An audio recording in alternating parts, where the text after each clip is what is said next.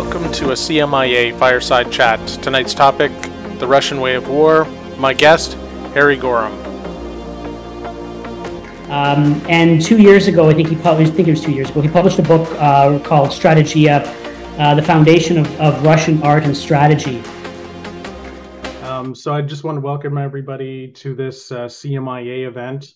Um, you know, it's it's great that uh, our professional association can host an activity like this and uh, provide some professional development opportunities for our community.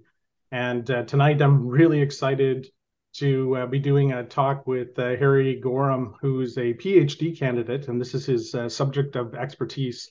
And uh, I, you know, like Harry and I have been talking about this in the office because, like, this has already had significant benefit for us in terms of just the first time I put this out on Discord that we were doing this we we reached out like people reached out into the community because they were very interested in what we were going to be talking about. And uh, we connected with uh, dr jensen from the canadian forces college. We connected with uh, lieutenant colonel chris strain who's currently over with the army staff college in latvia. And we started talking about lessons learned the russian way of war. And i like i mean not just a benefit for cmia and our people but uh, i mean also some real benefit for the canadian forces in terms of like i think we're going to use that community to help us, uh, you know, build um, our a better understanding of uh, uh, lessons that are currently being developed in in the war in Ukraine. And what what an awesome opportunity that was. So tonight, Harry, if you could just take like two minutes, introduce yourself, and then uh, I'll I'll have my first question for you. And just for the audience, the plan is I have three questions for Harry, uh, and then we're going to open it up to the floor for questions for him. Um, and he is perfectly comfortable with actually taking all our questions. Not all guests are. Um, his his depth of knowledge is that good, and he loves to talk about this. So my job is to rein him in because we don't want to go too long. This is meant to be like a forty minute podcast. And uh, and then at the end, I have the three rapid fire questions that I've stolen from one of my favorite podcasts, which is the uh, U.S. TRADOC's uh, Mad Scientist podcast. I think they're pretty awesome, and they've got three rapid fire questions. I've I've stole their questions and I'm integrating it into this podcast as well, kind of as an homage to them. So Harry, uh, tell us a little about little. I really want to know about like your uh, academic background and the uh, the doctorate you're working on currently. Um, yeah, well, well, well. First of all, uh, thanks, uh, thanks for having me. Uh, any uh, opportunity or, or, platform that's uh, provided to to to talk about my uh, my my my research and my PhD is is a privilege. So, um, as Lieutenant Colonel Holtz had alluded to, um, I currently am a, a, staff officer at the Army headquarters in the position of G two Ops. Uh, in, in terms of my background, um, I'll be quick, uh, but I'll, I'll, I'll talk to some of my, I guess, more more recent um, uh, education, if you will. Um, I do have a degree uh, in modern war studies at the uh, from King College in London, and currently I'm I'm studying at the University of, of Glasgow on a part time basis, but uh, I, I, I, uh, please be assured, even uh, most PGR students will tell you that even if you're doing it part time, you're still a full time uh, research student. So I'm studying at the University of Glasgow, um, and my dissertation advisor is Professor Beatrice Heuser, who's kind of like on leave right now from the university and is currently teaching at the NATO Staff College, but I still have touch points with her. and I also study under Professor Huseyn Aliyev and uh, both of their research focuses on on strategy as well as um, uh, but Professor Aliyev in particular focuses on Russian um, and contemporary Russian security issues. But Professor Beatrice Heuser uh, focuses uh, more on, um, on on on the history of military thought uh, and uh, and strategy. Um, and for as a graduate student, my focus was on Soviet intervention, particularly or my, my research area was in this Soviet uh, intervention during the process of decolonization in Africa. And I, I focused primarily on the 1960s and 70s uh, because that was a heightened period of, of, uh, of economic, political, and, and, and, military involvement in that period uh, and in that region. Um, and there was a significant shift in Soviet foreign policy, um, and uh, maybe perhaps we'll get into that in, in, over the course of this uh, discussion. Uh, uh, but uh, currently, my research as a PhD student at the University of Glasgow is focusing on the early theoretical uh, foundations of, of, of, Soviet military thought. Uh, and I'm quite interested in, in, in um, looking at the influences in which Marxism had on the development and influence it had on, on some of the early Red Army officers that helped shape and mold the theoretical foundations of, of Soviet and then I would argue uh, Russian or contemporary Russian military thought. Um, uh, and I don't think it's a debate. I, I think it's quite clear in, in, in, the scholarship and in the research that the influences that men like Svechin, Tukhachevsky, Varfolomeev, uh, Triandafillov have had, and even Shaposhnikov are still uh, prevalent uh, today now. They may be not practitioners of, of, of, much of their, their theory, but certainly um, uh, contemporary Russian scholars and theorists still leverage uh, a lot of that uh, rich uh, literature. So, perfect. That that's great. So, Harry, um, I think the first my first question for you is going to be about the literature. what you know, what is out there to read? Because like I think for our audience, it's important to know um, you know, like where they can look beyond this. And, um, uh, you know, there's like you, I, and I also think maybe if you could just kind of give us like a, a quick, you know, two minute blurb on the so what of why this literature is uh, really important and how it's shaping uh, current thought and why you think that that's important. And then we'll go on to question two and we'll try and keep this one to about uh, five to six minutes. Certainly, and and um, I, I, perhaps that if I if I'll, I'll try to keep it uh, quick because I'll, I'll, focus then on what I see uh, as as being relevant uh, to uh, I think uh, even for not just for intelligence professional officers, but uh, right. but I would say just just for academics. Um, I would say three contemporary works, well, that I'm reading and that have served as a foundation for some of my my my later research would be at King's College in London. Um, and two years ago, I think he published, I think it was two years ago, he published a book uh, called Strategia, uh, The Foundation of, of Russian Art and Strategy. Uh, and I believe that's published through Oxford University Press. I couldn't be mistaken, but but um, I think the significance of that, or or um, uh, Professor Fridman's work, is that he leverages a lot of uh, imperial Russian scholars uh, like G. A. Leer, uh, Medyem, as well as other um, Soviet, uh, correction, Imperial Russian thinkers that helped shape um, later 19th century and early 20th century military thought. And, and, another one that would come to mind that, that Ofer Fridman talks extensively about in terms of the development of imperial and then later Soviet thought would be uh, Dmitry uh, Milyutin. Uh, who had a significant influence on the reforms that the Russian Imperial Russian Army initiated uh, after the, the Crimean War.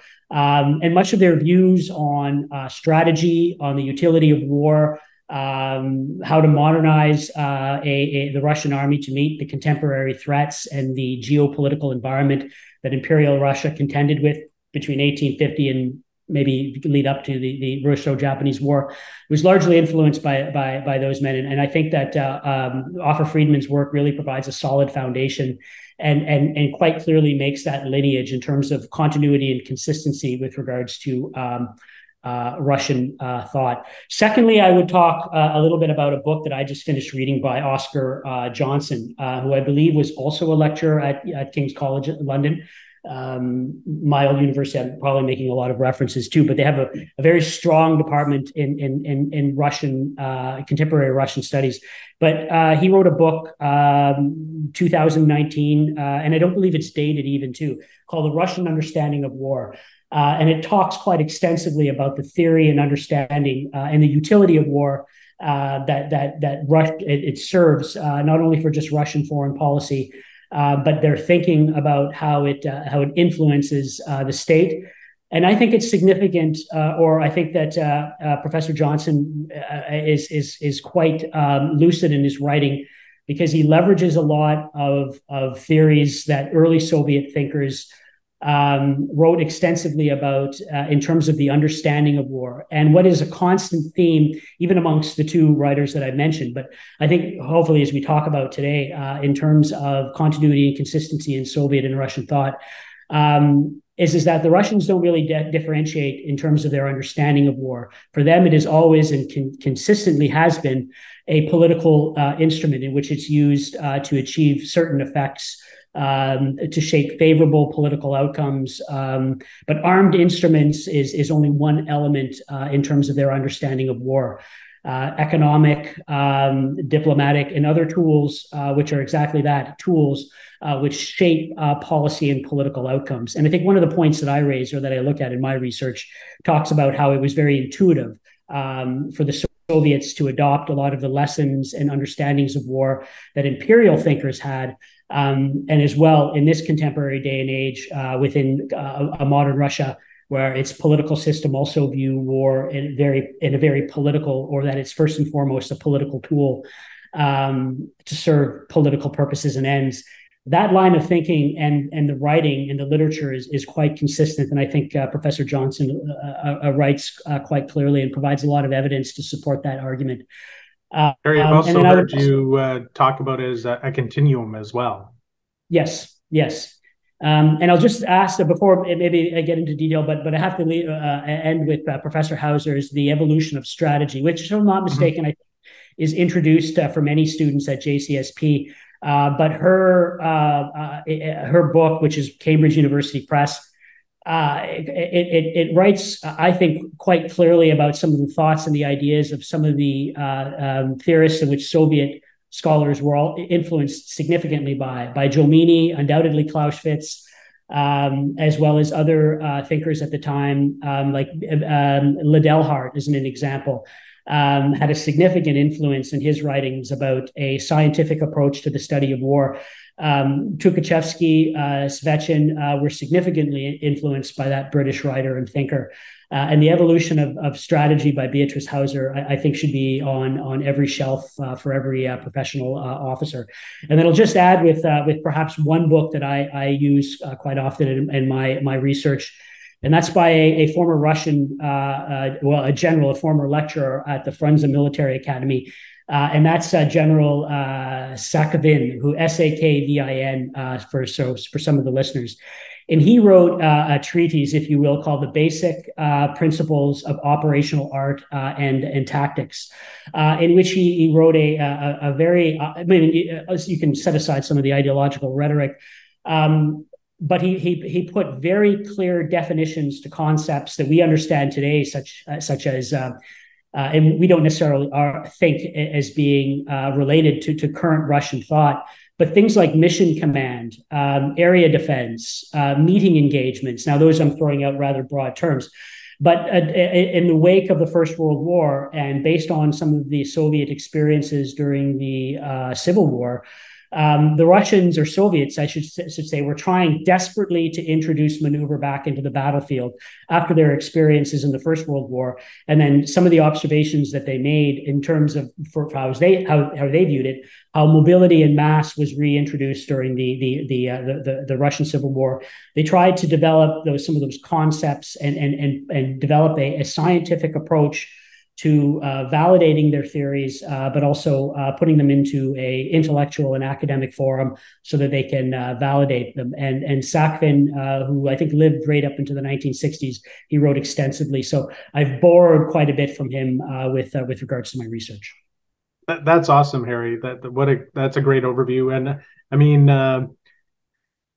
you, you, know every time we talk about this i i kind of reflect on the fact that it feels like um, we don't necessarily attribute this depth uh, that the russians really have or the soviets have in terms of uh, you know understanding it. And, and we and, and particularly when you listen to the rhetoric in um, you know uh, the the greater media uh, and the lack of understanding of the you know the deep thought and the culture behind this um, and and I think those books would help people. But I think to help people with that point, uh, maybe we could start talking about like the early 1900s and into the 20s when this all kind of evolved, and then uh, step through and move through the evolution of uh, current uh, the, the current development of Soviet Russian military theory.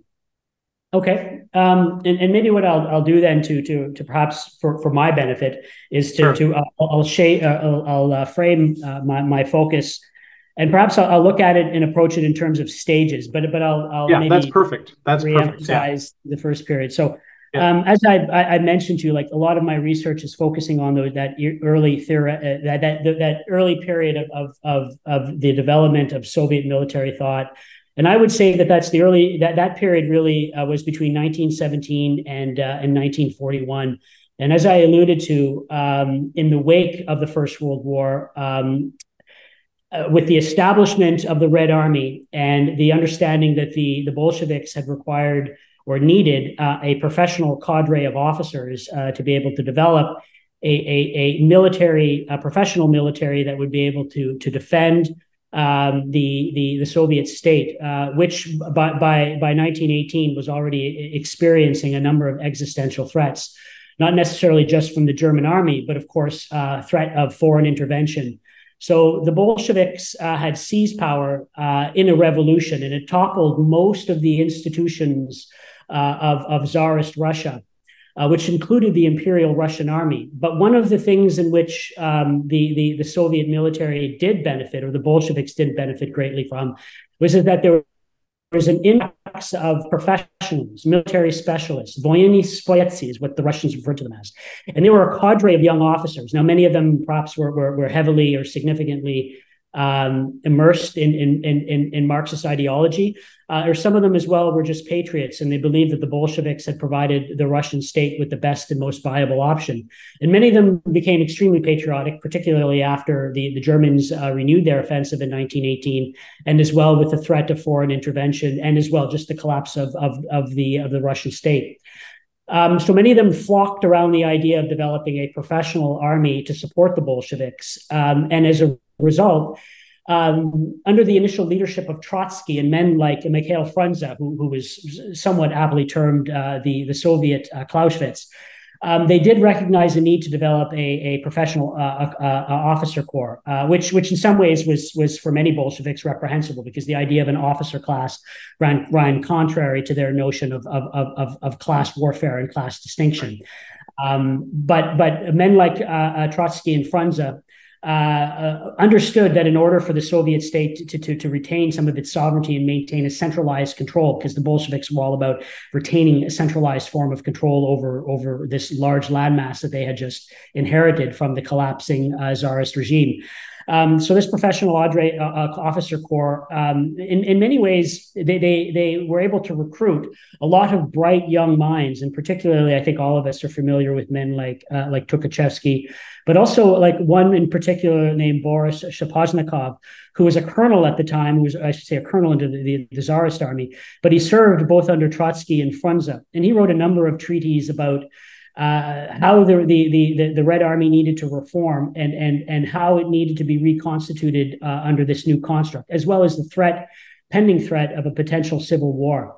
But Shaposhnikov believed that uh, what the, the Red Army needed uh, was to clearly identify and determine clear political goals and, and, objectives, which was one of the lessons learned that many imperial officers had had in the wake of the First World War, was that in many ways the grand strategic design of imperial Russia was not necessarily clear. Um, so Shaposhnikov, um, later on, he wrote wrote a series of, I think, very relevant uh, uh, um, uh, treaties and works, particularly the brain of the army. But he had believed that a strong command and control needed to be exerted, and as well, there was always this traditional debate within the imperial army in which the Soviets had inherited about the role of a main general staff. Um, and uh, Trotsky had believed that that main general staff should serve as the component within the army that devised and, and implemented um, the military and the campaign plans that had been devised uh, by the by the party's leadership. So Shaposhnikov made that clear distinction that there was a role for the political entity or the Bolsheviks, I guess, or the Communist Party, if you will, while it was up to the Red Army staff, the RKKAS, uh, to implement um, the strategy along military lines. And following in the wake of Shaposhnikov uh, were also other theorists, um, or I should say, other officers that had served quite well and assumed command positions uh, in the Russian Civil War, like Budyonny, uh, who maybe was not as deep a thinker as men like Tukhachevsky and Frunze.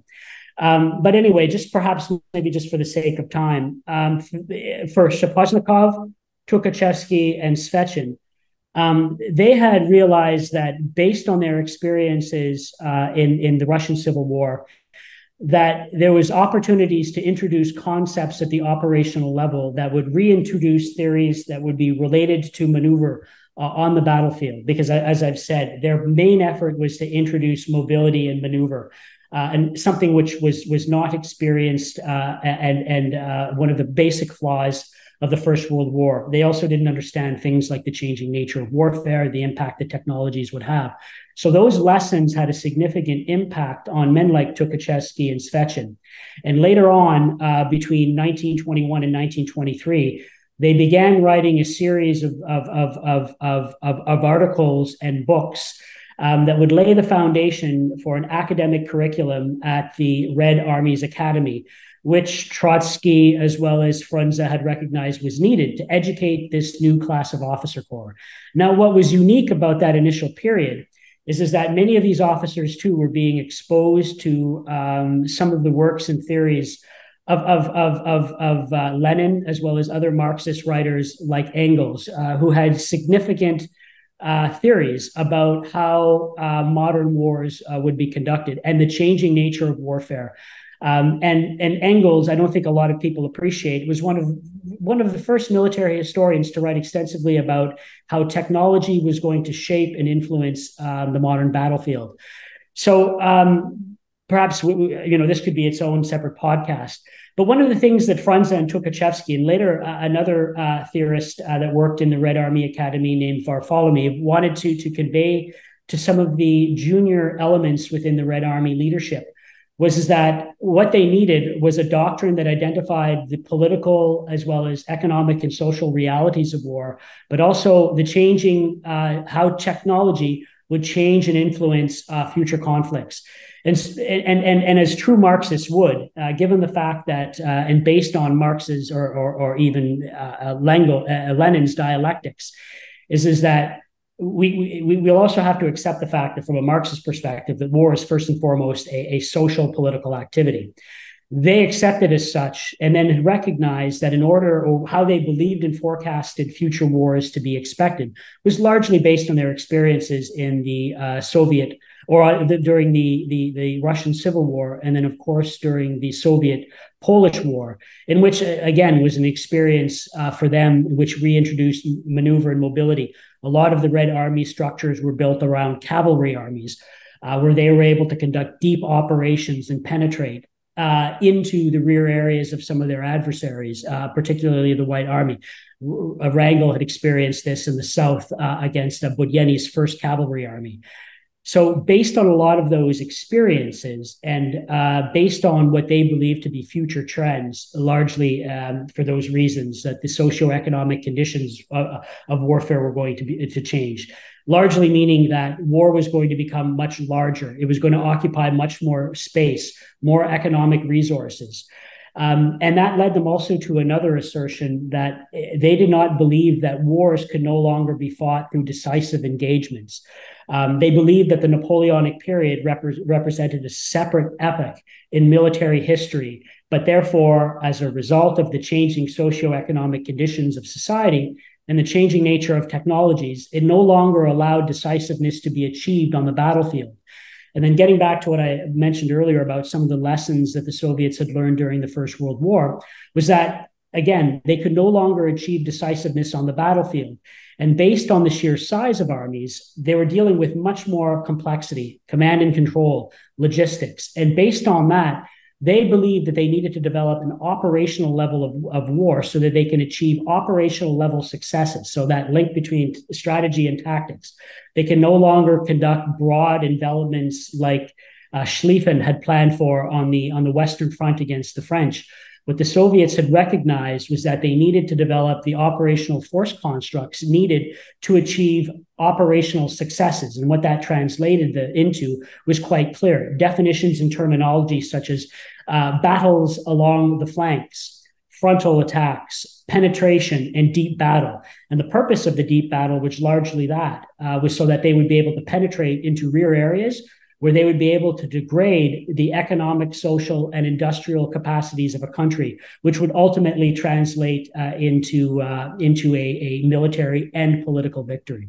So I hope that's perhaps maybe clear. I try to condense that into as as as short a time span as I can. But for that, me, that that, that was great, Harry. It's uh, you know I'm gonna have to rewatch this video to get all that information. I took a few notes, but yeah, that was awesome. So that takes us up to what 1941, right?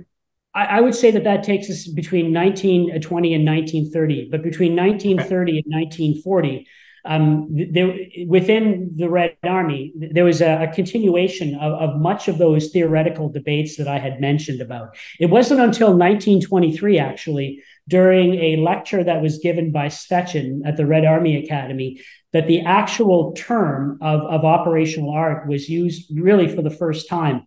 Uh, mm-hmm. and, and, and the premise of Svechin's lecture was exactly that, as I, as I hope that I was able to articulate, is, is that in modern war, uh, decisiveness in battle could no longer be achieved, uh, largely because, as I've mentioned, the sheer size of armies, uh, which were becoming more robust and capable based on technological advancements in weaponry uh, defensive uh, tactics, uh, so concealment, barbed wire, had a significant influence on, on how uh, modern armies would conduct offensive operations. So they mm-hmm. needed to make that link between tactics and strategy, which was called operations.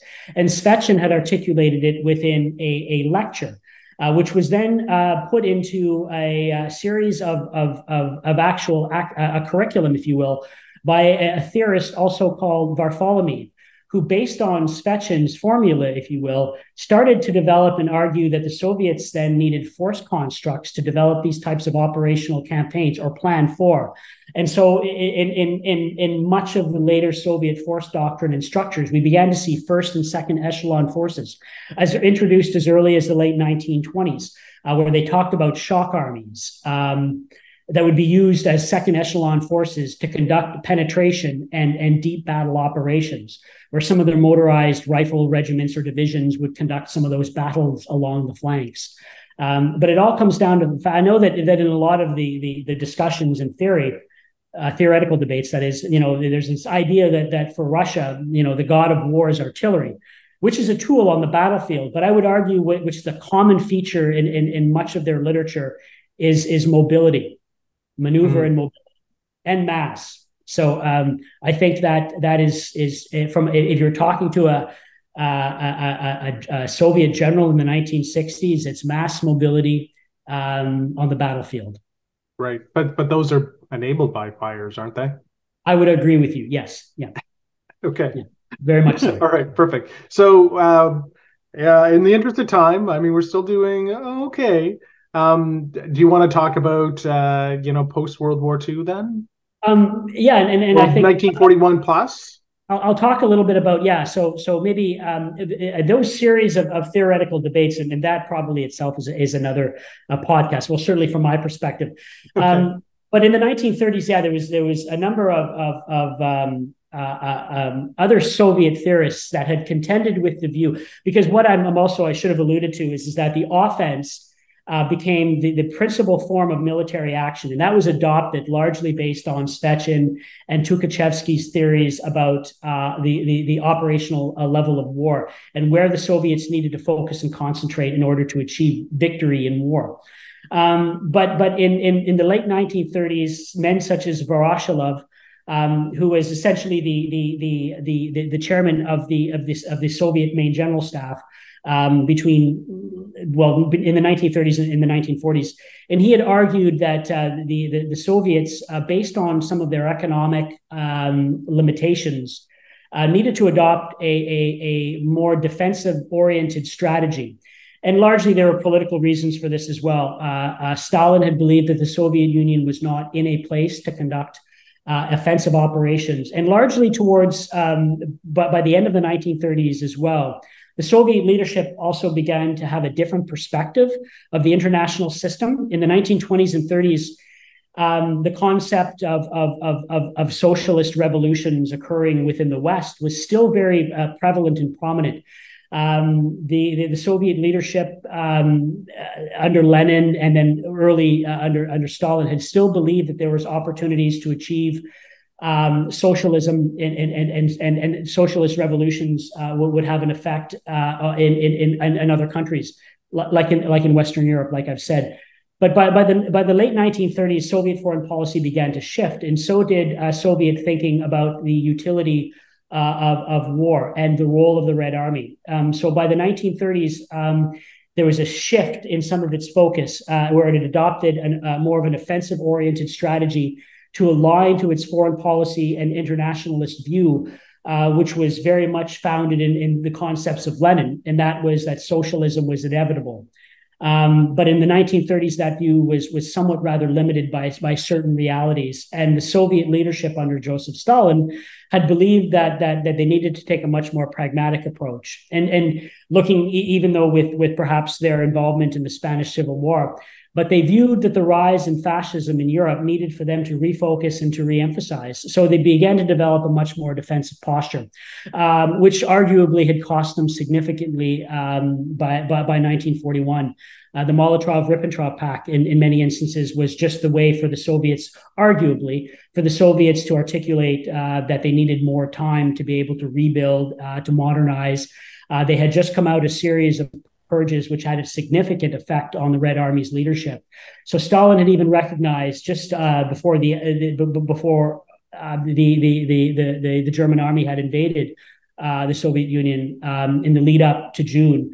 Um, that, that Soviet Russia was quite not in a position to conduct a protracted military conflict uh, with uh, with Germany or even Japan for that regard.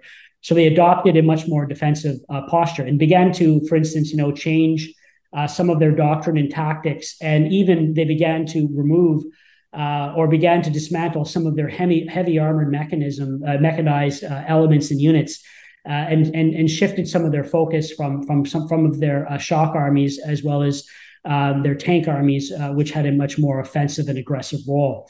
Uh, and, and, and I think that in itself would, would probably occupy a significant amount of time. Some of the strategic um, uh, uh, uh, issues that, that had contended the Red Army in the Soviet state. But even then, um, looking as to how, uh, when they regained the strategic initiative by probably 1943, we can see that uh, the Soviets began to reintroduce some of the concepts and some of the force structures they had believed as well from their experiences uh, fighting the Germans um, just to the east of Moscow, and then later, of course, um, when the, the the Germans attempted to take the initiative in the south uh, and then, of course, the six armies uh, uh, uh collapse and surrender at at at, at Stalingrad, and then later Kursk. Um, once that strategic initiative had clearly shifted to the Red Army, we began them seeing we began seeing that they were reintroducing a lot of the concepts and theories uh, that had been articulated and espoused by men like Tukhachevsky and Varfolomeev. And by 1942, of course, the Soviets began to reintroduce uh, elements like the shock army, they began to place more emphasis on on uh, some of the the corps and army units, uh, where they introduced more tanks um, so that they could provide um, their their their their fronts uh, with more uh, uh, ability to be able to conduct those battles along the flank, flanks and affect uh, envelopments at the operational level. understanding quite well um, that the the German army had very limited manpower and reserves, to be able to reconstitute and to make up some of those uh, losses. So after the, the defeat at Kursk, um, the Soviets, I would say, their strategy became much more politically focused. So up till then, uh, the, the, the strategy was largely to be able to attrite uh, and to continue to be able to reinforce areas in which the Soviets would be able to maintain um, their war effort. Uh, but after 1943, overall, uh, their political objectives in the war uh, shifted quite clearly, and much of their military strategy and doctrine focused on those force structures and uh, their war planning. Uh, efforts to, to, to, to, destroy the German army to the west of Poland is an uh, correction west of Warsaw. Their efforts to, to, to seize uh, much of the Balkans was largely formulated around political designs. Um, and then you see as well by 1943 a lot of the the the, the Stavka staff were also beginning to reintroduce pamphlets. Um, the some of the teachings and lectures within the the the, the military academy began to focus on um, some of the writings and teachings of men like Varfolomeev, uh, um, where the political objectives um, clearly had defined um, what the or the military objectives, I should say, would, would align quite clearly with the political objectives, and that was quite clear uh, within the construct, of course, of the Soviet system, where the Communist Party uh, devises and is responsible for both the, the political direction of the state, but also the military doctrine. But in the wake, and I just want to get to to perhaps maybe the post-war period. Um, in the wake of the First World War, um, we, the, the, Soviets also began to see once again that there was a change in the nature of warfare. Now, we began to see terminology being introduced like a revolution in military affairs. And that was largely a result of their understanding as to how nuclear uh, weapons uh, would change uh, the nature of, of, of, of, modern war. So that period, the revolution in military affairs, if you will, is, is I think most most uh, scholars would, would, would, would characterize that as being between 1953 and 1959 where the Soviets had realized that that with the introduction of nuclear weapons, the nature of warfare itself would change. But this also had a significant in, in influence in terms of how the Soviets viewed war and the utility of war. Uh, under much of, of Lenin's view of the international system, which was traditionally adopted and then carried on, even Stalin, uh, in many ways, still had adopted and, and largely just regurgitated uh, Lenin's view of the international system. That that that they social systems of socialism and capitalism would eventually uh, uh, uh, uh um, come to a or it would result in a in a global uh, conflict, uh, protracted struggle between the two social systems. But nuclear, the introduction of nuclear weapons had changed that calculus. Now, not so much under Stalin, but once uh, the Khrushchev had come to power, um, he wanted to focus more on some of Russia's strategic nuclear capabilities as as as uh, uh, relying solely for not necessarily relying so much on strategic capabilities, but he had believed that an effective deterrence capability uh, with the West, uh, uh, developing that strategic parity, so catching up with the West, i.e., the United States and some of the other Western powers that had already developed this capability. There was a need for the Soviet Union to develop, and, and the Soviets by this time, between that period, began focusing significantly on their strategic missile capabilities, largely as a mechanism to, to, to, to, deter, but also to be able to build up their strategic and power projection uh, capabilities. Uh, because even though they began to question whether or not war was inevitable, they did believe that the nature of warfare was changing and that it was going to be dictated by technological developments. But in addition to that, um, and, and, and I think there's sufficient scholarship to support this, the Soviets still believed that they needed a capable and robust, flexible response. Uh, to be able to contend and deal uh, with uh, the growing military threats posed by NATO, as well as U.S. Uh, military technological capabilities. Um, their strategic bombing, bomber capabilities, the fact that the United States did have an edge with regards to its missile technologies and some of the advantages in which the, the Americans had at sea with uh, the, their, their carrier battle groups, their ability to be able to project power, not to mention some of their strategic lift capabilities and logistical capabilities. So the Soviets believed that nuclear technology or their ballistic missile systems had served a very political purpose, that they could shape or that they, they could curb uh, US policy or NATO or Western aggression solely based upon this strategic capability. While, of course, they still retained a sizable the largest landmass or land military uh, in, the, in the world. Um, which served its own capability or its own purpose uh, in Europe. Um, but as well, what we see, I think, uh, towards the end of that period, uh, where Khrushchev, after the Cuban Missile Crisis in particular, based on the the, uh, how the Americans were able to demonstrate uh, what would be construed as flexible response, which is, I think, how their, their, their policy was termed at the time, based on America's growing role as well uh, in their efforts to curb uh, the growth of socialism in places like Southeast Asia their ability to blockade in other socialist countries such as Cuba, led the Soviets to develop or re enter into another period where they began to develop, even though there was a significant buildup in terms of their nuclear capability from 1960 to 1968. We still see that they began to develop uh, a, a, a, force structure uh, that was more flexible, largely because, as well, under Khrushchev, uh, when he began realizing that no longer was war inevitable based on the nuclear capabilities and threats that nuclear weapons themselves had posed uh, to humankind. Uh, because, based, if you believe the dialectical uh, or historical dialectics of, of Marxism, uh, we see or we know that that socialism inevitably will succeed and triumph over capitalism, and they believe that narrative quite literally, or at least, for instance, you know that that that type of ideological rhetoric was pounded into their foreign policy, and and their their their policy uh, statements. Um, but certainly in the 1960s, uh, we see the Soviets began building up some of their uh, naval capabilities.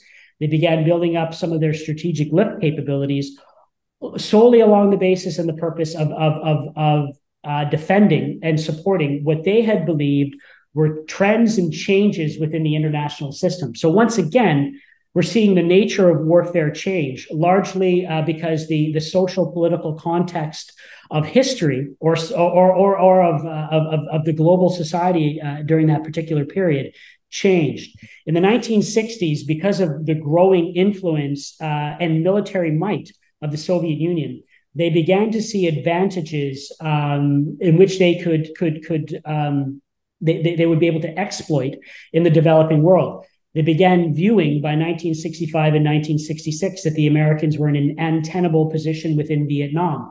Um, we see that during the process of decolonization uh, in Africa, um, that there were opportunities for the Soviets through their, their, their military support, through either their transfer of weapons, that they could achieve political ends by supporting Black nationalist movements. Um, they could support other Marxist Leninist vanguard parties that were beginning to emerge in the wake of the collapse of, of, of, of, of the imperial footprint of, of France and Britain.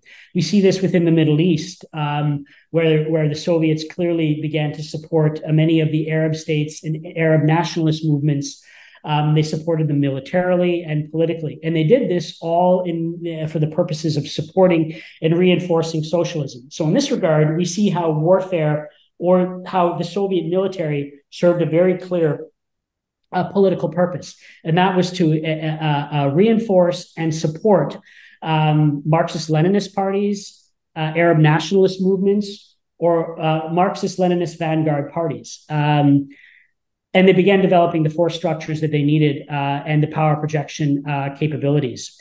Now, in the wake of, of Vietnam, um, when the United States began to look for a, a, a, a opportunity to, to, to extract themselves from that conflict, uh, the Soviets were also at this period willing to enter into a, a, a period of detente uh, with the United States. Now, I think this is where um, we in the West um, certainly I, I, have forgotten a lot of the lessons of the process of detente. Um, because uh, uh, much of the language that, that was used, uh, diplomatic language, ideological language, our understanding of the process of detente in the West, that is, was much different in terms of how the Soviets understood it which draws excellent parallels today in this particular, this contemporary society. Under the process of detente, the Americans saw this as an opportunity to realign the international system. You know, under Kissinger and Nixon, they believed that no longer did the United States have the economic, military, um, or political influence or clout uh, to solely uh, affect or influence um, politics or influence events by using military or other economic instruments. They needed, they recognized that the world was becoming somewhat more multipolar given the rise of, of, of, of, of Soviet military projection capability, uh, the rise and the influence in which China had or began to have within the developing world, particularly with some of these Marxist Leninist vanguard political parties, um, using maybe South Africa and in Rhodesia as examples of that.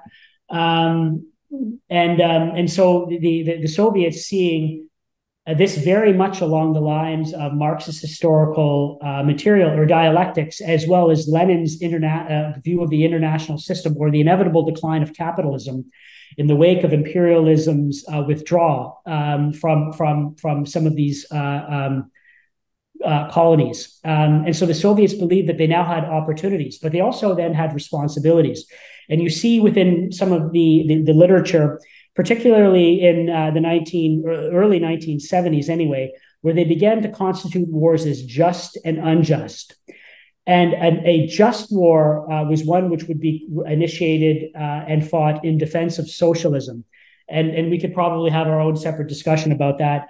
And there was a lot of literature that the Soviets began developing as to how they justified and rationalized uh, their involvement in places like the Middle East uh, for the purposes of, of helping to um, deter uh, Israeli aggression. Uh, in Southern Africa, to help uh, some of the, the Black nationalist movements, such as the ANC, that they had a right, an inherent right, to help develop socialism within some of these countries. Vietnam, of course, is another example, uh, and we can we can go on and on and on. Um, and so you, you began to see, for instance, a, a, massive expansion in terms of the Soviet fleet um, some of their strategic airlift capabilities, as I've seen, uh, or as I've, as I've mentioned. But the Soviets were still rather cognizant of the fact that that if if if there there were still red lines uh, clearly that were defined uh, by, by the United States as well as the other NATO allies. Um, so, as an example, if you look at their intervention or their involvement in places like in Ethiopia, the Soviets had recognized that a mass influx of Soviet troops uh, to help support the Derg's uh, um, uh, seizure of power in, in, in Ethiopia uh, w- would not be acceptable uh, to the United States or the West. So, so you know, they introduced Cuban soldiers to help fight and help train uh, Ethiopian Marxists. Uh, they used cold Cubans in Angola as an example. So there are still very clear red lines. But their concept of war and the utility of war and their application of war, particularly in the third world, was largely developed around their view of the international system. So once again, we see how under uh, Brezhnev um, and, and, and other key members of the Soviet leadership, there's one individual within the Soviet Politburo, an old-time Bolshevik named Boris Ponomarev. You just have to read some of his old transcripts because he was he was a diehard Marxist and a diehard Bolshevik, but he believed quite clearly, and he was within the the Politburo, and he also served within the international department that functioned under the the Communist Party of the Soviet Union. The Communist Party of the Soviet Union almost had like their own separate cabinet, if you will, uh, and within that there was a, there was an element called the international department, and, and there were really brilliant Soviet diplomats like Karen Brutents, and but not so much with Boris Ponomarev. He was an ideologue. But anyway, getting back to my initial point, if you listen to some of his writings and lectures that, that he would give to, to the Communist Party of the Soviet Union or their party congresses, the, the, the, direction that the Soviet Union was, was, headed in is that they, they believed actually that the world was going their way. And that's a quote that it's also, I think, a, a title of a book about the, the history of the KGB's involvement in the developing world. But by 1973, and with the introduction of the process of detente and some of the strategic arm reduction talks that the US wanted to initiate with the Soviets, they saw this really as a, as a period of decline in capitalism and imperialism. Uh, and so that they believed that it was their role. I think I'm maybe repeating myself, but just to reemphasize, um, we see a significant expansion in terms of Soviet military power. Now, um, the opening, and now even though we're seeing the developments of that capability between 1969 and, and maybe I'm getting ahead of myself, I would say 1973. Between 1974 on, we have the United States believing that they've, they've entered into a series of diplomatic negotiations with the Soviets that would tentatively and possibly curb Soviet behavior as well as the arms race. But that is not the case. And as I've said, and I think hopefully I've clearly defined what explained uh, the Soviet increase or their involvement in the developing world. But I would say that opening era power projection was really defined after 1974. And, and, and maybe I did get ahead of myself, but we do yeah. begin to see uh, significant involvement in, in, in, in Southern Africa, um, more diplomatic activity in, in, in other areas of the world where the Soviets have finally, they believe that they have achieved strategic parity with with the United States and political influence that that is on par uh, with uh, with the United States. So um, I hope I, I summarize those periods or those blocks somewhat. Arguably, we're, we're way over time, way way way over time. You know, probably apologize. people are wondering how we actually get any work done when we talk about this stuff at work. Uh, uh so um, yeah that but that was awesome. That was a great um, summary. I mean obviously there's so much more to talk about. Like a few times you alluded to the fact that that's a whole nother podcast. That's a whole nother podcast. Um, so maybe you know people will give us some feedback and and maybe we could do something like this again uh, because there are some really interesting areas to get into. I i'm not going to ask you the third question uh, but i'm sure something related to it uh, will come up uh, from the audience. Um, and when it does, uh, um, you need to talk about uh, the how the Soviet state prepared the people um, uh, for warfare and the psychology uh, psychology of that, and and you know the continuation of politics and warfare uh, related to the population as well, because I think that's a really key issue in today's world um, related to uh, the current conflict. So there's a few people who have uh, put up some questions, and I, I just want to give them write a first refusal first, and then if you could use the uh, hand button, that'd be great. So the first one was from George. Uh, George, it's up to you if you want to ask the question or not. Uh, just please unmute and then uh, then go ahead. Or if you uh, want to bypass it and go to the next person, that's fine too. Please let me know.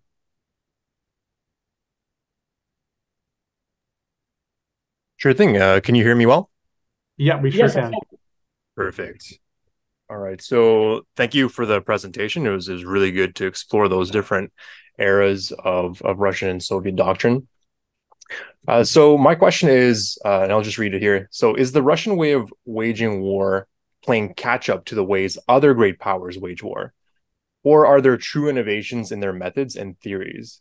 Thinking back on the ways that Russia tried to emulate the West after Peter I's trip to Western Europe, including adopting the table of ranks, perhaps this was not a one-off phenomenon of a Russian monarch, but a longer-term tendency well into Soviet times and doctrine I was curious if you had any insights on this.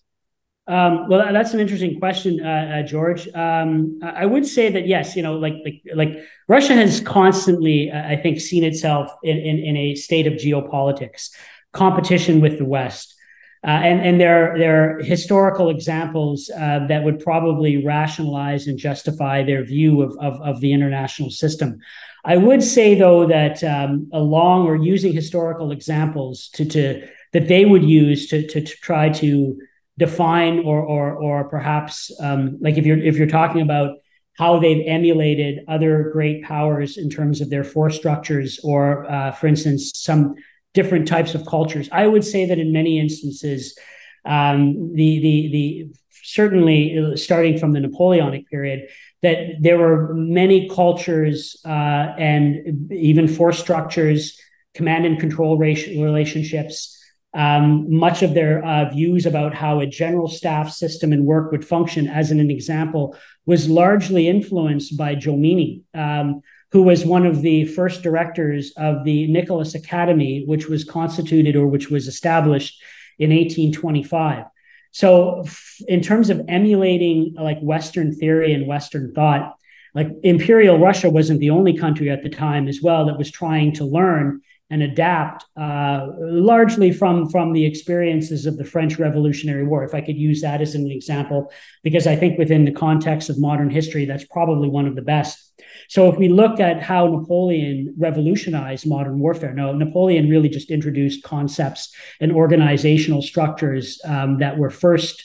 Um, I think advocated by a French theorist called Carnot. But outside of that, many of the other uh, uh, European countries at that time attempted to emulate the the armée de corps system, the divisional system, but as well um, like Napoleon's strategy of the of the center, Napoleon's idea of, of of developing a continental staff system so that he could establish some command and control construct um, over uh, a, a, broad core system.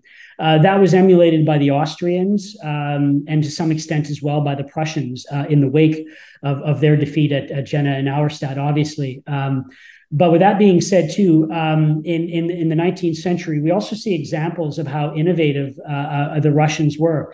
There's one Russian theorist in particular called G.A. Leer, and many of the Soviet theorists that I talked about in the 1920s, like uh, like Svechin, um, uh, Varfolomeev, uh, Shaposhnikov, they, they, they borrowed a lot of the language and the literature from G.A. Leer that had advocated and, and tried to make it quite clear um, that that that the, the, Russian armies did not have the capacities or the capabilities to be able to fight large, grand, decisive battles like in the Napoleonic period. So that they needed to develop more robust force structures to fight, even though the term wasn't there, at an operational level. So they were thinking about that that that link between strategy and tactics. I would argue um, even before the Prussians were, or they were introducing these discussions along the same lines. And just another point of history that I would also like to allude to that many would even argue that the the Prussians were the first to develop a robust academic uh, construct to train and to inform their general staff officers. But arguably, the Imperial Russian General Staff began to do that as well by the 1920s and the 1930s. Now, there was more of a serious debate uh, under Nicholas II about the utility of having a general staff, vice having a minister of war. Uh, within the Russian experience, they believed about putting all of their authorities under a minister of, of, of, of war because he can control expenditures, he can control doctrine and whatnot uh, and only include having a main general staff during times of war to advise the czar and to advise the minister. The Prussians had evolved to a, a particular general staff construct earlier, but the imperial the, the imperial Russian or the the, the Russians um, like G. A. Leer were having these discussions much much earlier or or, or during in parallel, I would say, or argue at least uh, with uh, with the Prussians. Now, there may be some that that that could uh, that would probably push back on that, but there is some scholarship to suggest that the Imperial Russian uh, army w- was looking at some of these constructs to train, to develop, and to establish more um, definitive command and control. But more importantly, to help institute reforms um, during periods of peace when when the Russian army and the respective czars had understood that that reforms were needed. So I hope that maybe answers or addresses some of your question from my perspective. Uh, that was great, Harry. All right, rapid fire question time. So uh, tell us what you're uh, currently reading right now. Uh, currently, um, I am trying to uh, work my way through a book by uh, Forrest A. Miller called Dmitry Milyutin um, and the Reform Era in Russia.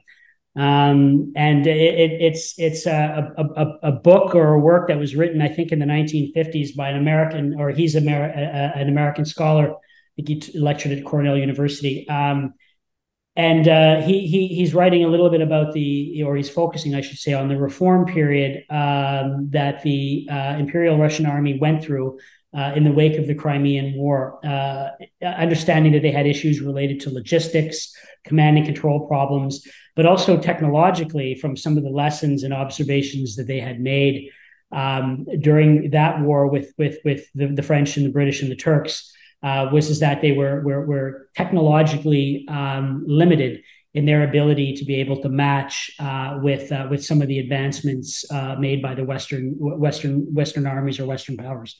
So it's it's it's a little bit of a dry read, but but uh, certainly from a from a scholarly perspective, yeah, it's not it's, a page turner. it's it's it's not a page turner, but I, I, guess from a personal level, I'm also reading um, uh, a book by George Orwell called the, the oh, Road really? to the Road to Wigan Pier. So that that's on my oh, nice.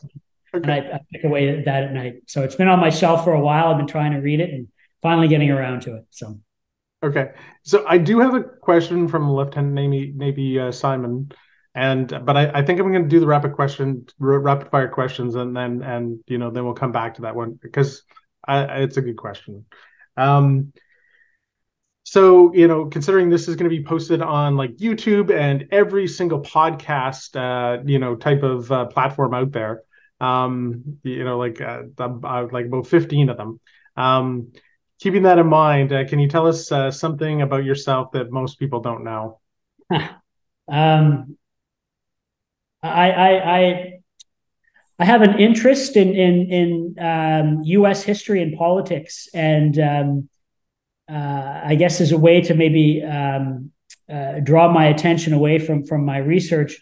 I find that I, I watch a lot of Richard Nixon documentaries, um, so I'm fascinated with with Watergate. Um, I, am also uh, quite interested in in um, in uh, uh, Kissinger, his foreign policy and and U.S. foreign policy at that time as well. But but getting back to I think what I said, I, I, am a sucker for Richard Nixon documentaries. So anything I can get my hands on, or if I can watch something or find something on YouTube, I'm fascinated with with the man. Not his politics, um, but uh, but certainly his his his his foreign policy and yeah. um, the Watergate scandal. I find is a uh, is an interesting case study in in political espionage, uh, if uh, if you will. Nice. Okay. And the last one, which uh, you know the uh, mad scientists always say is the uh, the hardest question, uh, is what's your favorite movie? Oh well, in line with that, um, I think um, what comes to mind now is All the President's Men. Right. About um, Watergate. yes. Yeah. Right. So Dustin Hoffman and Robert Redford, right? Robert Redford, Dustin Hoffman. Um, I think uh, Hal Holbrook, uh, who plays okay. Deep Throat, um, and uh, Jason Robards. Yeah. So some some some good actors. Uh, yeah, it's it's uh, it's a movie that I I uh, like to watch periodically. So yeah. Okay. Hey Harry, that that was great. Um, uh, thank you so much for doing this. I, I I found it fascinating. I am actually really going to have to go back and listen to some of the things again and make more notes. Um, and uh, I'm really interested to, uh, if not read some of those books, maybe read the Wikipedia pages on them, um, because this is such an important topic in terms of like trying to uh, we we mirror image too uh, too much and it's more important to have a better understanding of like who we're up against and how they think. So I do want to go to um, Lieutenant Navy Simon's uh, question. So uh, he said his mic isn't working. So uh, perhaps I'll read this off uh, myself, and, and, unless you want to give it one more ta- try. Yeah, so I'll, I'll read it. So he said, um, regarding the earlier mention of war as a political tool, what is the favorable outcome with the invasion of Ukraine? Hmm, that's an interesting question. Um, I would say that um, that that that the, the, war in Ukraine, um, which could be constituted as a proxy war, um, is is an effort on the part of of, of Russia um, to to prevent first, I think, Ukraine uh, from aligning itself closer to the West. Uh, I would also think that uh, if uh, the if Russia is in a position to weaken Ukraine politically, economically, um, and if they're able then to to demonstrate that that Western resolve um, or deterrence um, has either failed or is in limit is limited, um, then it would weaken further uh, NATO. Um, and as in addition to that, I think Russia saw that there was an opportunity uh, based on their view of, of the international system, that that NATO and a um, divided domestically speaking, uh, United States uh, would not demonstrate or show the resolve needed uh, to deter uh, Russia from either seizing through using military instruments or tools. or further weakening Ukraine and their ability to to to align itself uh, further with uh, with the West. Um, so I think th- that that speaking, um, and, and we can't, we don't know really what the mindset of the Kremlin's leadership is. Um, but I think that there was a, a, a clear political objective. Uh, militarily, um, I think what we saw was that um, the the Kremlin and Putin uh, had believed um, that Ukraine was was was much weaker militarily and and politically, um, so the the the, the tactics um, and the the intent to use perhaps military uh, force to achieve uh, whatever their decided or uh, their outcome was, uh, which we know now is to to seize Kiev, uh, t- topple the Zelensky government, and put in place uh, a proxy government to align itself more more closely with um, with with with Russia. Uh, but I think with that being said, Russia is also fighting the war that it didn't plan for and uh, and, and didn't intend uh, to fight. Um, so so I, I think um, they they're they're lacking a very definitive campaign design. Uh, they, they were from the onset. Um, they lacked a very clear command and control construct. Uh, and even though they may have had clear political goals, um, they obviously lacked the military instruments to be able to achieve uh, any decisive uh, military results that would shape a, a, favorable political outcome. Perfect. That that's great, Harry. Um, yeah. Once again, thank you, and uh, I'd love to get feedback from people. Uh, you know, both who participated and on YouTube. Um, you know, uh, if there's something that uh, we could potentially do again in the future. I mean, obviously, you're very passionate about this topic and extremely knowledgeable. Um, so uh, perhaps you will uh, come back at some point in the future and uh, join us again. Oh, I would love to. And yeah, it was it was a real treat. And thank you for the questions. Thank you for the opportunity. And and uh, yeah, please feel free to reach out at me. reach out to me at any time. Um, yeah, if you have other questions or comments, yeah, then please. I look forward to it. Okay. Thanks. Um, have a great night.